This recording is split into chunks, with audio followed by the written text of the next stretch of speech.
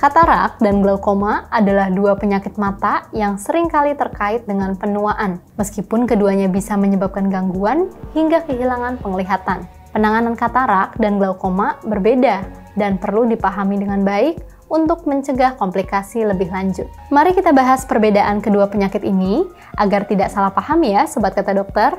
Bersama saya Dr. Gama hanya di channel Kata Dokter.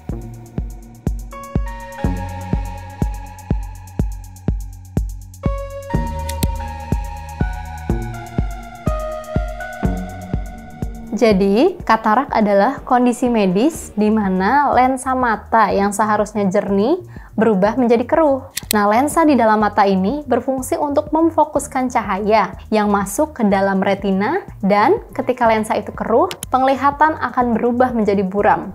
Penyebabnya yang paling utama dan paling sering adalah faktor degeneratif yaitu usia. Kemudian bisa juga karena trauma langsung, bisa karena paparan cahaya berlebih, dan kondisi medis seperti diabetes mellitus dan juga hipertensi. Bisa juga karena penggunaan obat-obatan jangka panjang dan faktor genetik. Sedangkan glaukoma adalah penyakit pada mata yang berkaitan dengan peningkatan tekanan dari intraokular atau tekanan di dalam bola mata karena akumulasi cairan berlebih atau faktor-faktor lainnya. Jika tidak segera diobati, bisa menyebabkan penekanan pada syaraf optik yang ada di belakang area bola mata dan menyebabkan kerusakan secara permanen. Glaukoma disebabkan juga oleh tekanan cairan intraokular yang tinggi, bisa juga karena cedera pada mata, penggunaan obat-obatan tertentu, dan kondisi medis tertentu seperti penyakit diabetes atau juga penyakit hipertensi.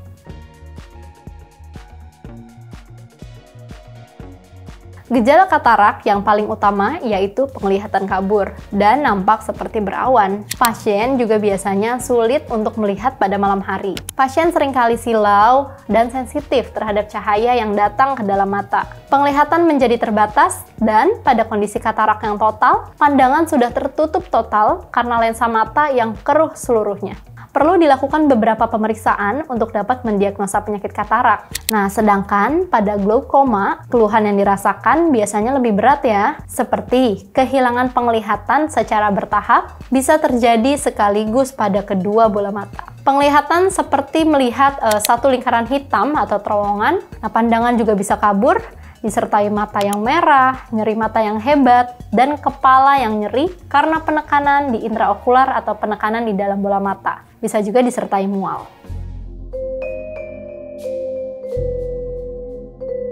Baik, jadi faktor usia memegang peranan penting ya dalam faktor resiko penyakit ini. Tentunya semakin tua usia, resiko katarak dan juga glukoma semakin meningkat. Nah, pada pasien diabetes mellitus dan juga pasien hipertensi, itu sering kali meningkatkan resiko dua kali lipat lebih besar dibandingkan dengan orang normal lainnya. Cedera pada mata, baik cedera fisik, cedera secara kimia, maupun cedera cahaya, juga bisa berperan untuk meningkatkan resiko terjadinya glukoma ataupun katarak. Juga penggunaan obat-obatan jangka panjang seperti obat kortikosteroid yang menyebabkan terjadinya kekeruhan pada lensa.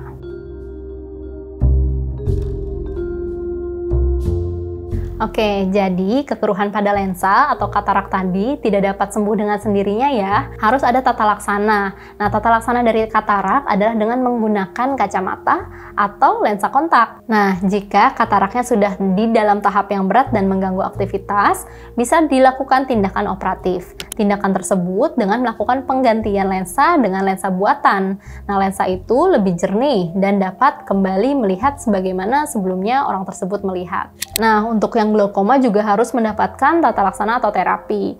Obat yang ringan yang bisa digunakan adalah obat tetes mata yang bisa berfungsi untuk menurunkan tekanan intraokular. Namun, jika hal tersebut masih e, berlangsung, jika penyakit tersebut masih belum bisa diobati dengan obat tetes mata, ditambahkan obat-obatan oral atau obat-obatan minum. Dan jika glaukoma tersebut masih terus berlanjut, sementara penekanan di dalam mata itu e, efeknya sangat tidak baik, terutama untuk syaraf-syaraf optik, memungkinkan untuk dilakukan tindakan tindakan operatif seperti operasi laser dengan nama trabekuloplasti, yaitu memberikan jalur atau drainase yang berada di sudut bola mata sehingga cairan yang terakumulasi di dalam bola mata bisa keluar dan tidak terlalu menekan bola mata. Nah, tata laksana yang tepat akan menentukan kualitas penglihatan pasca penyakit ini.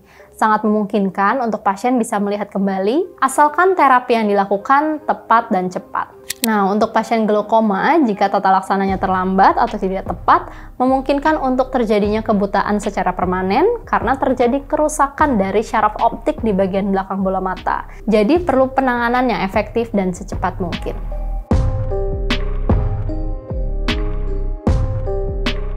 Untuk menjaga kesehatan mata, ada beberapa hal yang perlu dilakukan, yaitu melakukan pemeriksaan mata rutin minimal satu tahun sekali, menerapkan pola makan yang sehat, dan mengandung vitamin tentunya untuk kesehatan mata.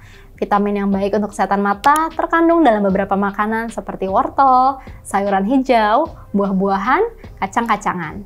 Jangan lupa untuk melindungi mata dari paparan sinar berlebih ya, seperti sinar biru pada gadget atau sinar UV. Jangan lupa untuk mengenakan APD atau alat pelindung diri apabila melakukan kegiatan yang beresiko, terutama cedera pada area mata, dan selalu menjaga kesehatan tubuh secara umum. Kemudian untuk pasien-pasien yang mengalami penyakit lain seperti mata minus, plus, atau silinder dan disarankan menggunakan kacamata, harus rutin ya mengenakan kacamata. Kacamata itu hanya dilepas pada saat mandi dan tidur.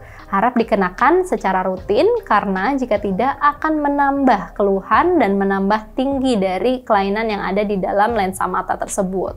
Nah, teman-teman, jika terjadi suatu kondisi di mana mata kelilipan atau kemasukan benda asing, tentu teman-teman harus langsung membersihkannya ya. Pertolongan pertama, sobat kata dokter bisa menggunakan air yang ada di kamar mandi. Nah, dengan cara melakukan irigasi yaitu e, mengambil air di wadah yang bersih, air tersebut juga harus dipastikan bersih ya. Kemudian membuka mata di area air tersebut lalu mengedip-ngedipkan mata agar kotoran yang ada di dalam mata bisa keluar. Jika memungkinkan bisa disiram dengan menggunakan air yang bersih di area uh, bola mata. Tentu membutuhkan bantuan dari orang lain. Jika masih kesulitan atau mata masih dirasakan perih dan merah, terasa mengganjal, teman-teman bisa mendatangi petugas medis atau UGD untuk dilakukan irigasi dengan alat-alat yang memadai. Kemudian, jangan lupa nih untuk wanita yang sering mengenakan maskara atau make up di area mata untuk rajin membersihkan make up tersebut agar tidak menjadi sumber penyakit. Karena jika tidak dibersihkan, tentu akan menyumbat pori-pori yang ada di area sekitar mata dan juga di sekitar bulu-bulu mata sehingga beresiko uh, menimbulkan infeksi seperti hordeolum atau kalazion atau bahasa umumnya adalah bintitan. Lalu, jika senang menggunakan kontak lensa, sebenarnya tidak masalah untuk menggunakan kontak lensa tersebut. Tapi yang pertama harus dijaga kebersihannya ya. Proses pemasangannya juga harus baik dan apabila tidur harus dilepaskan karena jika tidak beresiko untuk mengiritasi area mata. Meskipun penyakit katarak dan glaukoma bisa berdampak serius pada penglihatan, langkah-langkah pencegahan dan penanganan yang tepat dapat membantu mengendalikan progresi penyakit dan menjaga kualitas penglihatan. Semoga informasi hari ini membantu ya Sobat Kata Dokter. Jangan lupa untuk berikan like dan subscribe pada channel Kata Dokter. Ingat ya, kamu berhak sehat. Jangan sampai sakit berlanjut. Saya Dr. Gama, kita berjumpa lagi di episode selanjutnya. Bye!